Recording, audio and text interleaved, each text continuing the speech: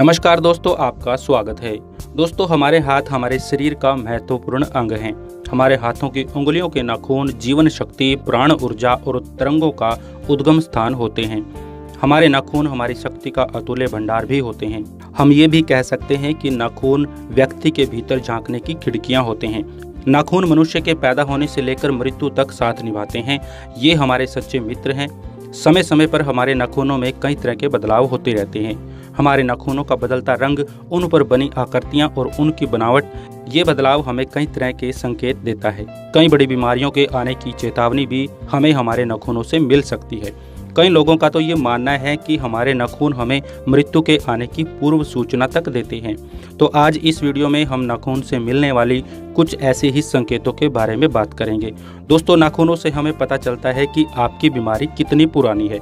अगर नाखून की जड़ में खराबी है तो समस्या नई नहीं है। नाखून के सिरे पर खराबी है तो बीमारी पुरानी है। और अगर नाखून के मध्य में खराबी है तो बीमारी पाँच या छः महीने ही पुरानी है।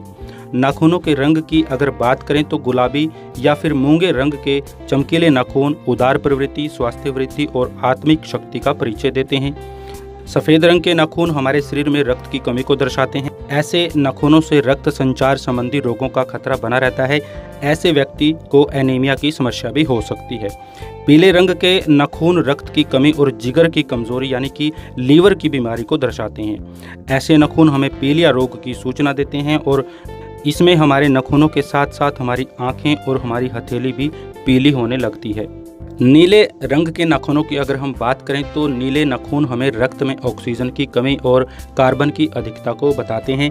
ऐसे नाखून हमें हृदय संबंधी बीमारियों का संकेत देते हैं। हृदय में वाल्व का खराब होना या फिर हृदय में सुराख होना नीले नाखूनों से अंदाज़ा लगाया जा सकता है।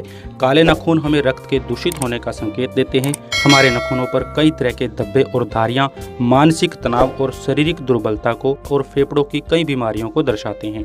इतना ही नहीं, कई अनुभवी व्यक्ति तो नाखून के सफ़ेद बिंदुओं को गिनकर मृत्यु की पूर्व जानकारी का भी अंदाज़ा लगा लेते हैं। दोस्तों, नाखूनों पर दूधिया रंग के अर्धचंद्रों का उभरना रक्त संचार को दर्शाता है। इनका ना होना हृदय की दुर्बलता, कम कार्य क्षमता और दोषपूर्ण रक्त संचार को दर्शाता है।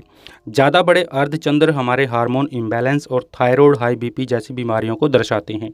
सामान्य से छोटे नाखून वालों में आंत, रक्त, पैर और कमर दर्द जैसी शिकायत हो सकती है और इसके विपरीत वाले नाखूनों में फेफड़ों के रोग, हृदय रोग, सिर के रोगों की प्रवृत्ति देखी जा सकती है।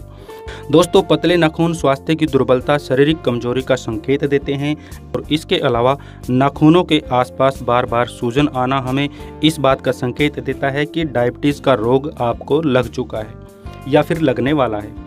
ऊपर की ओर मुड़े हुए नाखूनों से हमें अस्थमा, हार्ट अटैक या फिर कैंसर जैसे रोगों के संकेत मिलते हैं।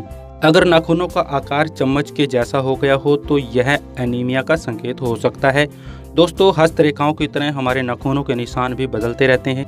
दृढ़ इच्छा शक्ति योग और प्राणायाम से नाखूनों के चिन्हों और जीवन के मोड़ को काफ़ी हद तक बदला जा सकता है। दोस्तों, अगर आपको ये जानकारी अच्छी लगे तो इस वीडियो को लाइक करें और अपने मित्रों के साथ इसको शेयर ज़रूर कर दें। साथ ही हमारे चैनल को सब्सक्राइब करना ना भूलें। वीडियो देखने के लिए आपका बहुत बहुत धन्यवाद। आप सभी को नमस्ते। जय हिंद।